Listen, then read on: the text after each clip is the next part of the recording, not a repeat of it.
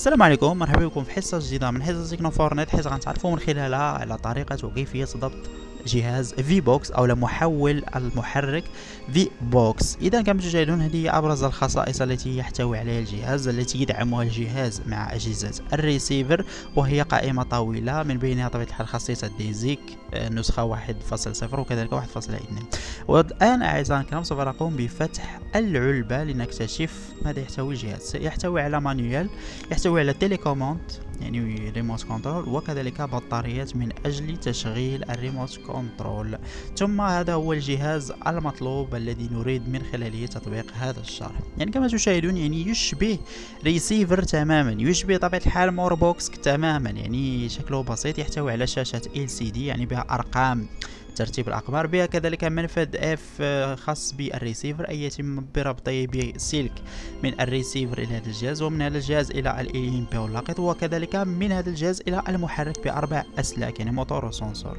ثم يحتوي على منفذ طاقة. كما تتابعون وهذه هي أبرز المحتويات التي يتوفر عليها الجهاز للتأكد فقط قبل الشراء. إذا أول شيء أو أول خطوة سوف نقوم بها وهي أن نقوم بتركيب البطارية وهذا العمل يعني بسيط يعني لا يحتاج إلى شرح سوف نقوم بتركيب البطاريات أولا ونقوم بتجريب الريموت هل هي شغالة أم لا. كما تشاهدون يعني إذا دار الضوء في الكاميرا فهي شغالة. سوف أترككم بعد الخطوات المقبلة. إن شاء الله.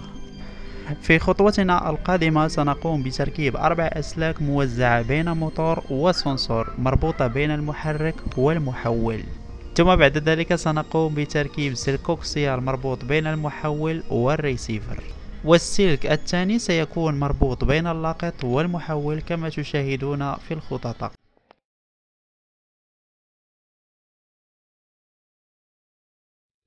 في الخطوة الموالية بعد تركيب الأسلاك سنشرع في ضبط ترتيب الأقمار انطلاقا من النيلسات على سبيل المثال حتى تظهر الإشارة بشكل يدوي. بعد التوقف على إشارة القمر سوف نضغط على الزر مني في remote control ثم installation ثم recherche mono satellite.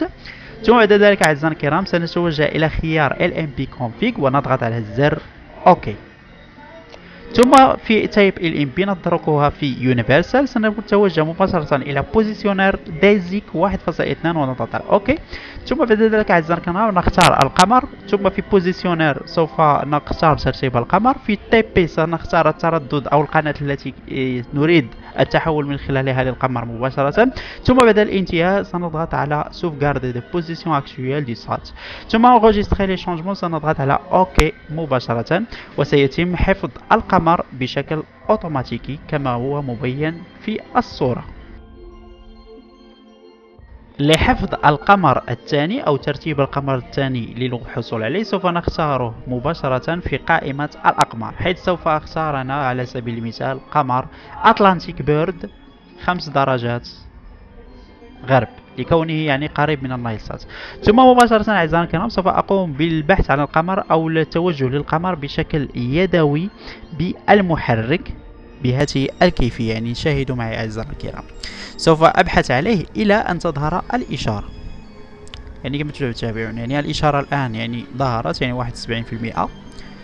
ونفس الخطوات السابقة يعني menu و installation ثم recherche mono satellite على حسب نوع الريسيفر الذي يعني لديك. ثم مباشرة ستتوجه إلى LNB config. وسوف نضغط مباشرة على DiSEqC واحد فاصلة اثنان لكونه هو الاختيار الخاص أو هو النظام الخاص بالتحريك الأوتوماتيكي. سوف نختار في positionneur رقم اثنان. يعني بعد النايل سات اخترنا واحد سنختار اثنان ونقوم بتسجيل القمر.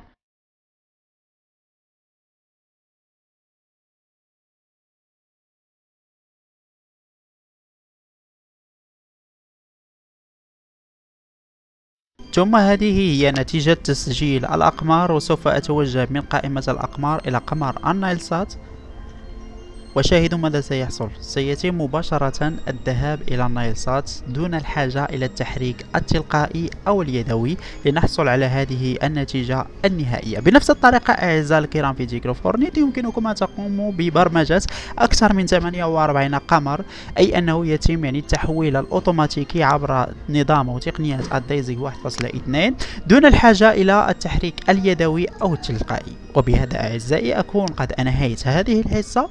تنسوا الحصص المقبلة إن شاء الله ستكون بعد شهر من الآن. للمزيد من المعلومات والتفاصيل والتدوينات التقنية يمكنكم زيارة صفحة تكنوفورنت على الفيسبوك أو على الإنستغرام. وكذلك سو دمتم في رعاية الله وإلى اللقاء.